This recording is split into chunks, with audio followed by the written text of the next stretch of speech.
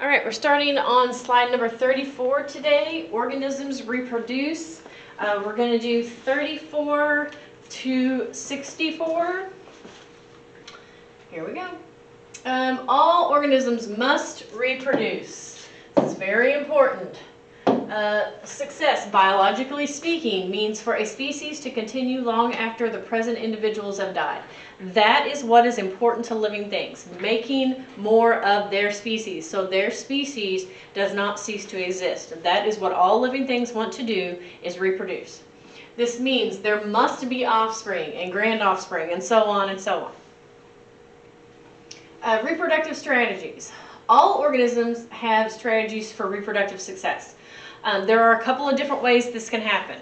Uh, some of them involve parental uh, support, some of them just as many offspring as we can have and hope for the best. Those are kind of the basic two. We're going to go into each of them a little more specifically. Um, it takes energy to reproduce, create seeds or eggs, and nurture young. Uh, these strategies that have evolved create the greatest number of offspring which can survive. Important note, there it will always be about the species, not the individual. In nature, uh, animals will seek out the strongest, the healthiest um, of its kind to reproduce with because the importance is that species continues. Um, their pride, uh, in a pride of lions, only the lionesses uh, reproduces. The pride is successful because they help raise the young. They all work together to take care of their offspring so that those offspring will survive. Asexual and sexual reproduction. Sexual reproduction means having uh, two individuals that combine their genetic material, a male and a female. Asexual reproduction, only one individual contributes to the genetic material. So it is one living thing simply making a copy of itself. It is identical to the parent. Parent and offspring are identical. There are advantages and disadvantages to both, which we're going to go through. In asexual reproduction, a piece of a parent becomes a new individual. There is no variation between the DNA of the parent and the young. It's exactly the same. They are clones of each other. Uh, these are, uh, this picture is of marine sponges. Genetically, each one of these sponges is the same. However, you will notice this one is substantially larger than, say, this one. Um, if you were here, we'd have a discussion as to why you think that is, and I'll go ahead and tell you. The reason this one is larger, just simply based on its position, food that falls through the water, just microscopic little bits, actually goes down into, where this one does not get as much food because it cannot go directly into the sponge. Uh, seedless plants are clones. Farmers use asexual reproduction to get more um, high producing plants. All new individuals of seedless plants are from the same type of asexual reproduction. Uh, the greatest issue is there with asexual reproduction, no genetic variation. So if I'm a farmer and I plant my corn crop, and my corn crop has a, a disease, all of that corn is going to have that disease because that corn has been reproduced asexually, so just making a copy of that corn. That is why farmers, uh, if you've ever driven, you know, out, you know, by a farm field, you'll see like little tags and it'll say, you know, this type of seed is planted in this section, and this type of seed is planted in this section, and they do that so in case one of those types gets a disease, it hopefully will not kill their entire crop. Um, types of asexual reproduction. Single-celled organisms can divide into two. This is called binary fission. Um, it is literally just the splitting of that organism into two. Regeneration. Some animals and plants can grow new individual from the part that has been broken off. Starfish are probably some that you think the most common of. You can, you know, take part of that off and then that little piece then becomes a whole new starfish. Uh, the planarian and the starfish can grow a new individual from almost any piece of their body. Um, people and starfish eat clams. One group of clam diggers were so frustrated at the amount of empty clam shells they found, so they decided to catch all the starfish they could and kill them. They chopped up the starfish into pieces and threw the dead starfish back in the sea. So here they've got all this starfish. They just chop them all up, thinking they've killed them, and then they toss them back in the water every one of those little bitty pieces that they just chopped up turns into a whole new starfish. So all they have done is compounded their problem. I mean, I told you the answer, but we'll go ahead and, and look here. All the pieces regrew into, regrew into whole starfish. Now they had many more starfish eating their clams. Budding is another type of asexual reproduction. Budding is a new individual sprouting from a parent. The baby hydra uh, will live on their own. The, the coral on the right will form a colony. Um, this is an example of budding. It's literally where a baby grows out the top of what's already existing.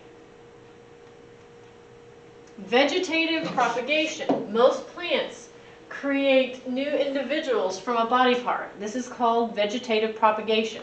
If you look right here, each one of these new little leaflets becomes a whole new plant. Vegetative means from a root, stem, or leaf, and propagation means to increase in numbers. Um, a dead yucca trunk sprouted new yucca plants. The plant on the right lives in the rainforest. Each offspring, so each little little offspring, um, has roots and will fall off the parent. So when this falls off, then it already is ready to implant into the ground to make a new plant. Vegetative propagation gives a high likelihood for the survival of the offspring. Um, in asexual reproduction, no DNA is passed to the offspring.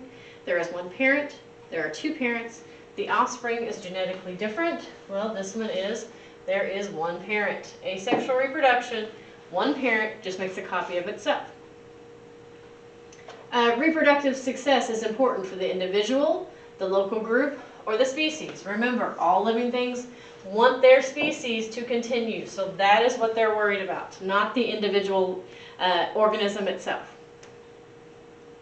Obtaining new individuals of seedless plants require asexual reproduction, sexual reproduction, great variation of DNA, or two parents. Seedless plants is A, asexual reproduction.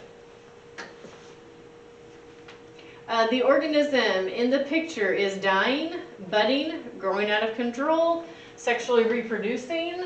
The answer here is budding. You see the little, the little, literally the offspring is growing out the top, or out the side in this case. Uh, look at this strawberry offspring. It's a result of, uh, you got this little, little sprout coming off the top here. Vegetative propagation fertilization, binary fission, or cloning. And that one is vegetative propagation. Sexual reproduction. Let me make sure I haven't gone too far. Uh, nope, we're going to 64 and I am on 53. Sexual reproduction requires DNA from two parents. The DNA is blended in the offspring and there is genetic better, uh, variation. It's called fertilization. Fertilization is the union of sex cells, sperm and egg. In animals, the sperm and egg join. This is very important. In plants, the pollen and the ovule join. Um, during fertilization, the nuclei of the sperm and egg combined. It is critical that the new cell has the proper amount of chromosomes. So if an organism has 20 chromosomes, the fertilized egg must have 20 chromosomes. So how many chromosomes must the sperm and egg have? Well, it is 10. The reason it's 10, you, um, in humans, we have 46 chromosomes. You get 23 from your mom, 23 from your dad. So that that way, that fertilized egg has the total 46. So in this organism, 20 chromosomes um, is in the fertilized egg. So that means 10 had to come from the mom, 10 had to come from the dad. Um, in mitosis, uh, okay, we're going to start a new term here, meiosis. This is going to be the reproduction of sex cells. So in mitosis, the new cells had the same number of chromosomes and were identical to the parent cell. So that's where you've got new skin cells are making new skin cells. That uses mitosis. In meiosis, a complete individual is formed by two individuals coming together. Those sex cells have the same chromosome number reduced in half. This kind of division is called meiosis. So when you're talking about the reproduction of sex cells, it is meiosis. Every other cell, every other body cell uses mitosis. Uh, here is just a, a picture of what meiosis. So you're talking, uh, here's your sperm or your egg, and then that's, so it splits twice. Remember, the four cells formed by meiosis have half as many chromosomes as the parent cell. So each of these have half as many as a completed cell for that organism would have.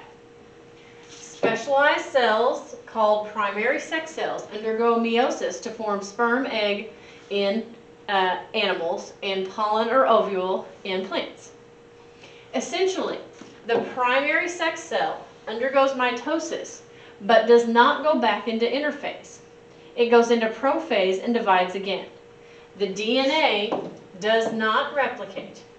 After the second division, each cell has half the DNA of the primary sex cell because you're getting half from your mom, half from your dad. Uh, here you can see four pollen cells, now this is in plants, which have formed a single primary sex cell. Uh, chromosomes trade sections. During meiosis, now this is